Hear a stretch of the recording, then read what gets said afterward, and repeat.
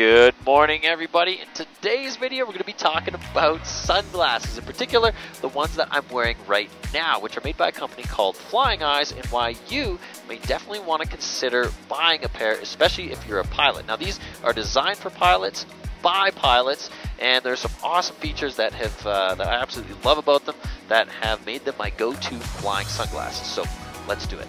Uh, now, talking about sunglasses, as a pilot, you're exposed to a lot of sunlight and a lot of UV radiation, especially being up at altitude. So it's actually very important and an aspect of flying that I never really put a lot of thought into until recently when I made the investment to buy these sunglasses. I was the kind of person that would just go and buy a $5 pair of uh, sunglasses from a gas station. In fact, I'd probably go and buy four or five pairs with the expectation they'll probably break or I'll lose them and then just go buy more uh, when I need them. Uh, I was doing myself a big disservice, especially considering that I could buy a pair of sunglasses like these that have a whole bunch of features that are designed for pilots. The first one is that they fit underneath your headset. You may not think that that's a big deal, but it actually is. Now, this headset I'm wearing is a Bose A20.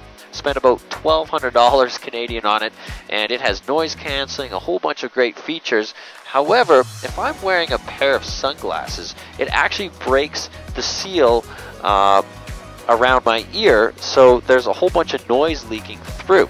And that's a problem because I invest so much money in a good headset only to ruin it with a pair of sunglasses. Now, what Flying Eyes did was they designed a really thin frame that fits between the earpiece and your face so that you get no noise bleed and you get the best performance out of your headset. So as you can see, there's pretty much no space between them. And that's one of the best things that I like about uh, these sunglasses is that I can put them on real easily and it doesn't disturb the sound quality uh, and you get no noise bleed through that little space that normal uh, sunglasses would give you. The second thing that's great about these sunglasses is that they're really flexible. Check it out. It's like you can bend these things in so many different ways, and that just means they're durable. Like you can basically chuck them around and they can bend, you can accidentally sit on them, and they're not going to break. They're really easy to take care of because of that. The third thing I like about them is that they're very lightweight. It's almost like you don't have a pair of sunglasses on your face. There's times where I even forget I'm wearing them.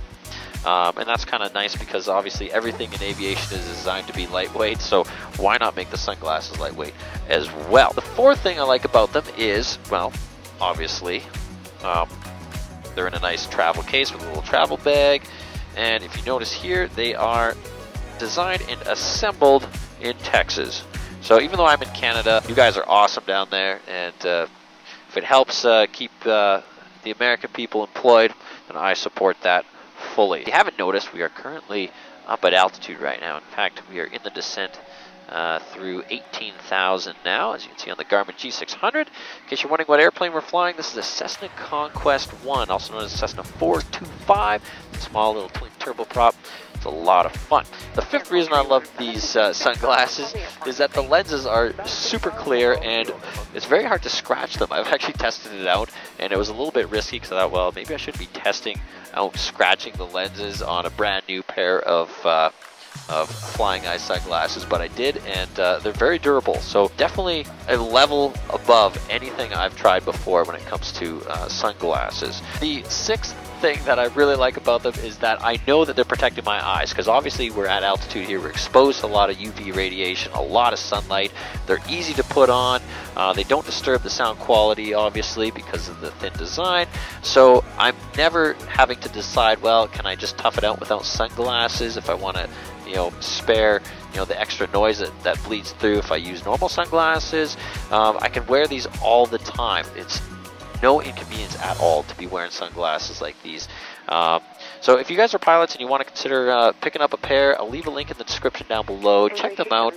Um, I do receive a little commission from them that does help support the YouTube channel. Obviously, I'm wearing these all the time now, uh, and I, I, thought it would be great to share that with you guys because obviously I like to share uh, all the good products and uh, things that I'm using as I'm actually flying.